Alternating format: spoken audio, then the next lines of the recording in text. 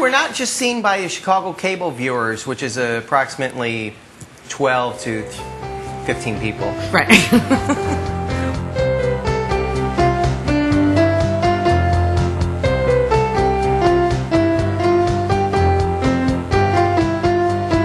I'm John Lossano, and this is going to be a classic nude hippo. We're going to show you a clip of John Callaway when he first appeared on my show back in 99. Now, you got to understand something. I admire this man. I have learned a lot from this man. I didn't know who he was before he walked in and did an interview with us. I did some research, read the bio, watched a couple of shows. I'm a big fan, though. It wasn't like I watched him for years and years. After sitting down with him for 30 minutes on my show, live television, I was blown away. I learned so much from him, interviewing him in that 30 minutes than I did with anyone else. And, and now I watch everything he ever does.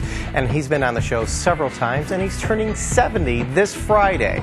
And every week, me and Amy sit behind this desk, the old Chicago Tonight desk, which John Callaway used to sit at this point on his own show. We don't let anyone sit over there now.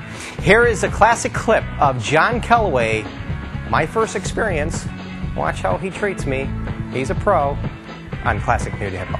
What do you think of local programming? Is it is it getting lost? Because I've been flipping around and I haven't been seeing as much as I used to as a youth.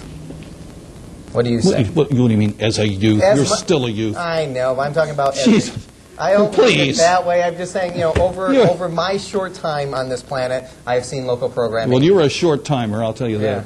Anyway, by the way, I only mean any. I know, I ju- know. No, no, no, no, no, no. I, I, no, no, no, no, no, no, no. I just mean this personally. I don't want you to take this as some larger thing. I mean to be cruel and hurtful. Okay? Okay. Um, local. I'll tell you, local programming. If you watch cable, there's some interesting stuff. Sandy and I like to watch this show. Plug. We like to watch Bruce Dumont, uh, Beyond the Beltway.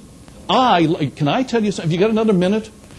I love, and I and I know they're going to call me a whore because, um, because of what I'm about to say. I love these City of Chicago official City of Chicago programs of the guys that used to work on television and do good reporting, and they're now out talking about the CAPS program and the various Bob things. Bob Wallace, who's the other one that used to do?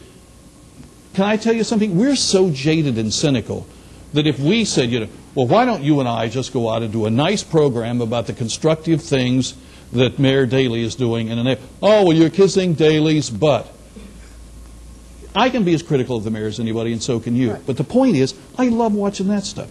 And then Channel 11 has Chicago Tonight. It has Wild Chicago. It has Chicago Week in Review. It has Art Beat. It has Image Union. It has, it has made its reputation. And by the way, this will continue and be escalated. We've decided to really play that local thing because you're right. You know, what are you going to watch on Channel 2 at 6 o'clock now?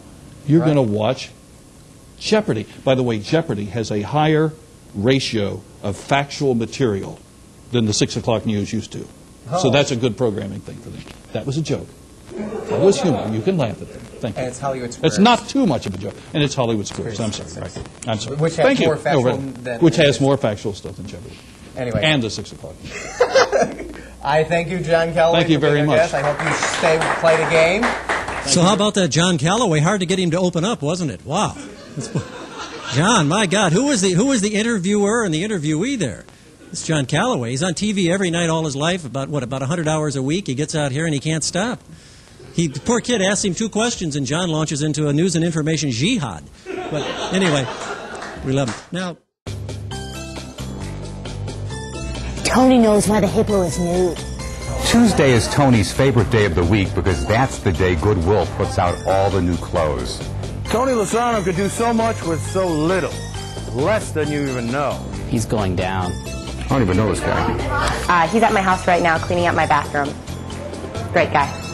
Lovable. I guess you can't use that, can you?